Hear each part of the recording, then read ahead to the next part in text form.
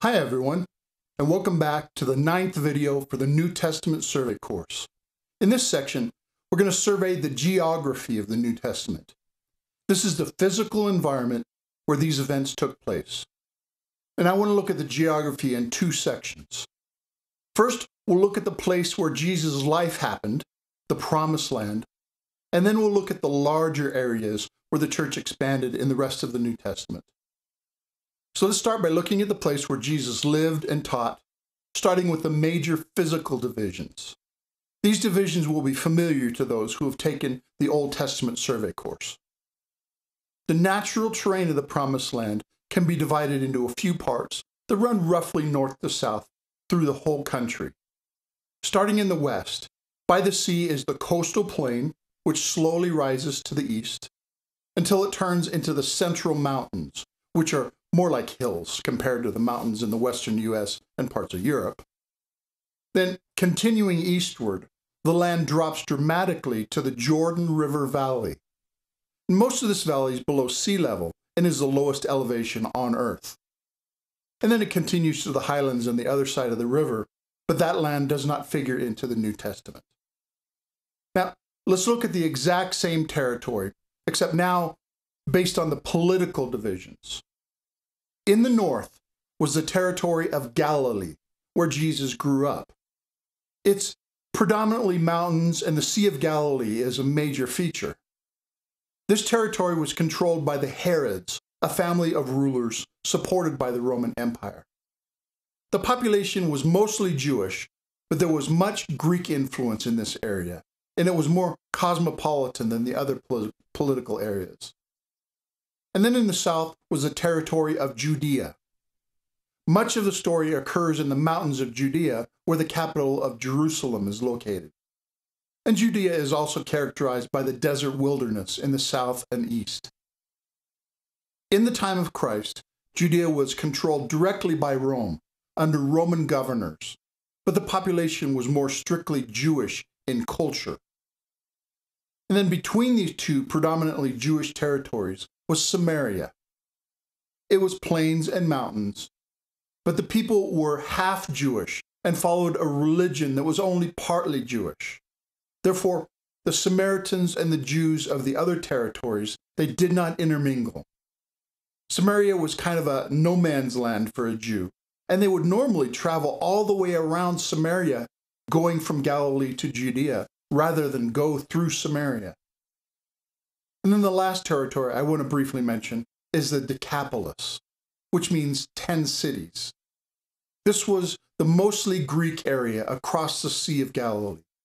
Jesus traveled there on a few occasions.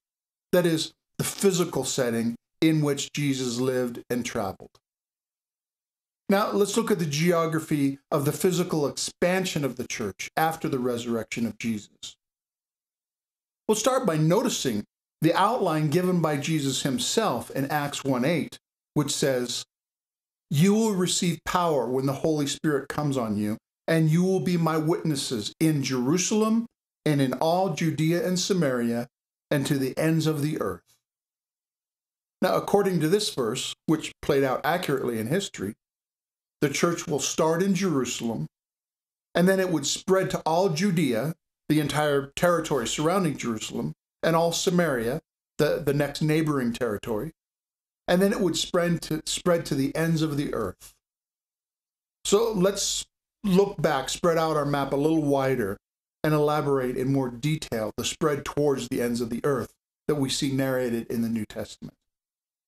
The church spread to Caesarea, a Roman town on the Mediterranean coast.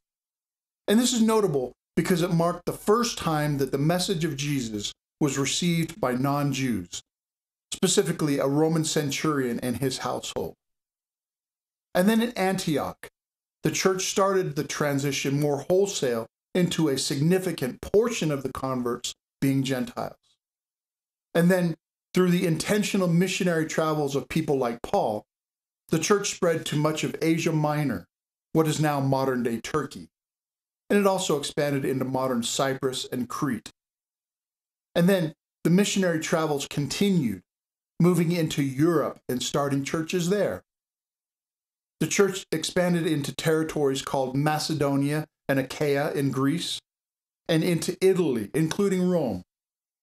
And it continued to expand beyond there into the rest of Europe, but that's going beyond what is narrated in the New Testament.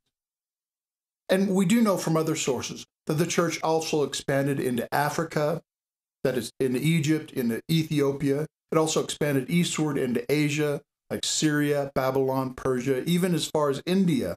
But those stories are not told in any detail in the New Testament.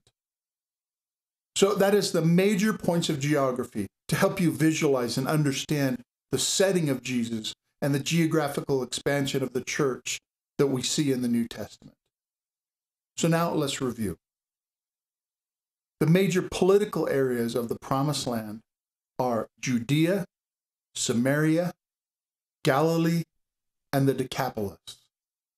And the major geographical areas of the expansion of the church are Jerusalem, Judea and Samaria, Asia Minor, and Europe.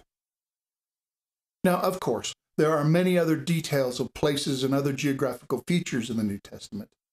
But hopefully, you know how the big picture outline to help you fit in the details that you'll see when you read and study the New Testament. In the next section, we'll give a brief overview of the literature of the New Testament. That is, the organization of the books of the New Testament itself. And I'll see you there. Thanks for watching.